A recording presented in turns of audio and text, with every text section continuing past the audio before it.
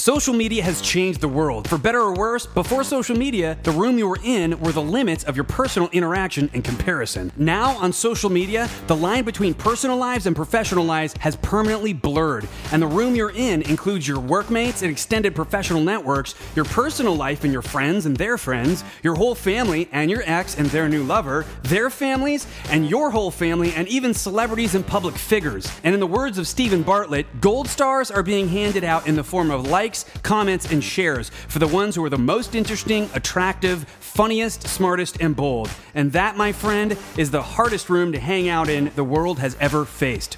Here to help us sort that all out is Facebook expert Brian Meert.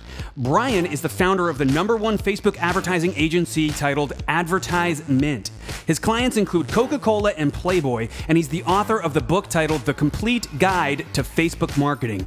Brian aims to help business owners by reaching the right person at the right time with the right message.